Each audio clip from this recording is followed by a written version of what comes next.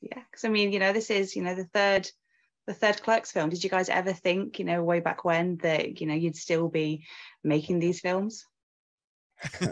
uh, you know, uh, if anyone, if like a if a doctor walked out of a TARDIS into the quick stop back in 93 saying you're going to be here in 28 years doing the exact same thing i thought i would be caught in some sort of crazy doctor doctor strange time loop but you know what i'm so glad that uh, we're able to do this one it's it's uh, one of the better one one of the best ones of the three i think uh, quality written and uh, emotionally invested in and I, I think it's a good way to to bookend the whole series it's been 28 years and I'm still not over the shock of people actually seeing the first one.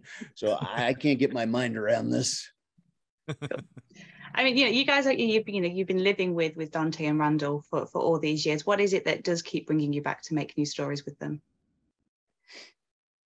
Yeah, Jeff. Um, you know, f- for me, it's it's just working with these guys. Um, you know, back in '93, doing this, uh, I wasn't acting, I wasn't in anything, but it was fun to sort of just work with these guys. It, it was my first time doing it, and, and I, I, couldn't have asked for a better group of people to work with. Uh, so when it comes to just doing them uh, subsequently, I, I just consider it like going back and hanging out with my friends. Uh, I just have to remember a lot of stuff and then spit it out. Uh, but mostly it, it's just about sort of hanging out with a group of people that I've known now for 30 plus years or whatever it's been. Yeah, it's it's a lot of fun. I see uh, Jason Mewes the most out of all this because we do like Comic Con conventions and things like that. So over the years, I've always been in touch with him, especially in Kevin at, at times as well. Um, so coming back to these characters, especially and working with these guys again, and, and I've said this to Kevin directly, where look, man, you can call me up at one point like I want you to be on the 42nd Street platform of the New York City subway near Times Square. We're gonna shoot something. I'm like, I'm there like it doesn't matter what he's doing because I, I think I really enjoy the the work that Kevin puts into writing these scripts, and I really you know connect to the kind of humor and uh, also the heart of what he he writes in, in all his films. So it's it's never it doesn't take much for me to get anywhere uh, that and working with these guys again. You know, out of all the people I've worked with over the years, I always start coming back to this core group of they are family, friends that we know each other, we know what we can get out of each other, and it's really, really cool. Yeah. I mean, with you guys, you know, having such a good relationship, and sorry, this one's Aww. appeared. Uh, with a cat. Yeah. Um, with you guys, you know, having spent so much time together, you know, how much do you have any say in in your own characters? You know, did you have much input into into where the guys were going this time? Um, I think this time around we had a little more say in it. Um, Clerks, the original Clerks, uh, was very much stick to the page. Mm. Um, on Clerks 2, we had a little more freedom because at that point we had already done the animated series. Uh, so Clerks 2, we had a little bit of freedom. Uh, but on this one, I, I, think he gave us the most freedom. Um, you know, we got together prior to shooting and we would do sort of, uh, we would sit at Kevin's rented house and just sort of do read throughs and a lot of stuff changed during those read throughs. At, at, some point, Kevin was literally sitting at the table with a laptop, uh, writing new stuff or writing new dialogue that we had all changed uh, or come up with new stuff. So it, it, felt like Kevin was a lot more relaxed with us, sort of doing our own thing. And, and he did definitely give us a, a lot more leeway than he did 28 years ago. Yeah, it was definitely more of a collaborative effort than any other of the films, which was fun. You know, some things would swap from, uh, you know, a, a Randall line would swap over to an Elias line, or something that you know Jay did just physically physically at the table. He's like, "Ooh, we should do that," or something you know that Jeff would say that I would add to, and then that Kevin would follow through with, and became a string of things. And it was a lot of fun you know, just getting together and getting into that kind of familiarity of these characters again bore out what I thought was a, a really great collaborative script in the end. And nostalgia um, is a big thing in, in television and film these days. You know, there's a lot of lot of reunions, a lot of a lot of reboots. You know, you've got stuff like Stranger Things, which are just dredging up everything that we all love from the 80s and uh, from the 80s. And I guess in a way, it's a, a, similar thing that follows through with Clerks Three. It sort of comes, you know, full circle with with Dante and Randall, you know, producing a film not too dissimilar to to Clerks. You know, what was um, what was it like revisiting the past? Uh, weird, freaky, especially yeah. being back in that store again is definitely something that was just you know out of a time machine because nothing has really changed in that store.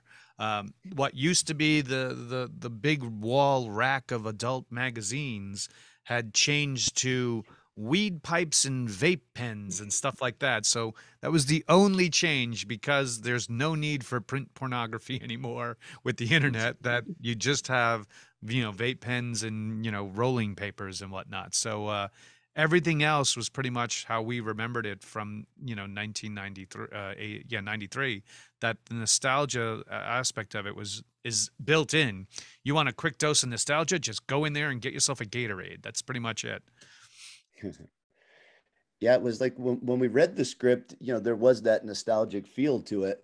Um, but i think like when it came down to shooting and we would actually recreate the scenes from 28 years ago and there would be a lot of you know before we would actually uh, partake in the scene we would pull up the old scenes from clerks one uh, and we would watch the scene and sort of mimic the scene again in this one. That was where it like it really hit home. It was like you know we would shoot the scene and then go back and sort of watch it and uh, you know compare it with the old scene. That's where it was like being clobbered over the head with nostalgia and the film's got a lot of a lot of cameos a lot of kevin's films tends to tend to bring people out what do you think it is about him as a filmmaker that you know makes people so excited to drop on even if it is just for you know one or two lines he's just fun. He's fun to be around.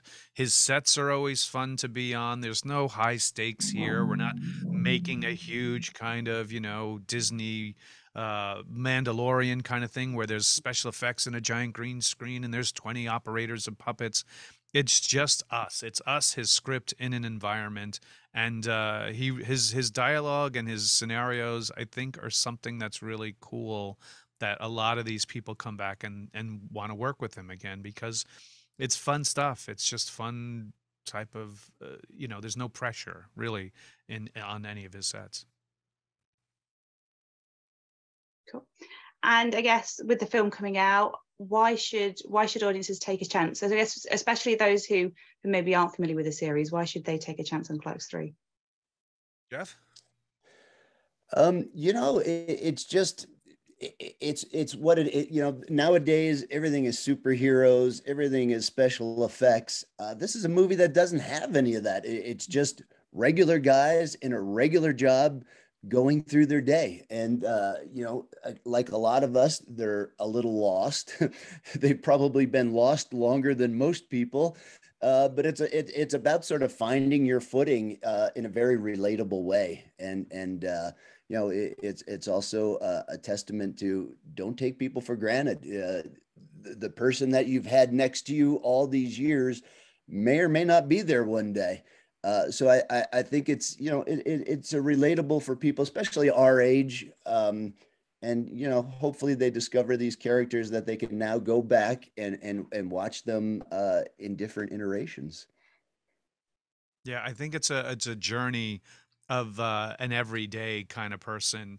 You know we're not flying through space we're not saving we're not first responders we're not going in and doing heroic kind of things we're just living our lives. And especially if someone sees this third film and go wait a minute there were others um, and go back and actually see where these guys have progressed they can kind of especially if they are our age they can kind of relate to where that has taken them.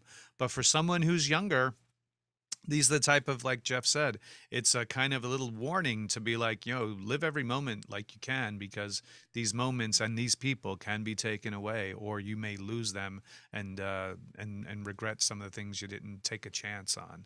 So uh, take a chance with us by seeing this movie. Well i wish you guys the best of luck with the film. Thank you. Thank, thank you. for taking you. the time out